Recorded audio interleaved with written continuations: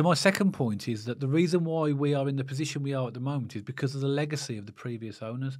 So effectively, when Knighthead came in, they uh, their hands are tied because firstly they're dealing with the restrictions of FFP, which the previous owners put us in, and they made it clear that we couldn't do very much until this year is over because we're still off the back of three poor financial years that put us on the cup, cusp of FFP. Um, and therefore, because of that, we've had to make use of the loan market and we haven't really paid big fees for any player now for, for quite a number of years because we can't afford to.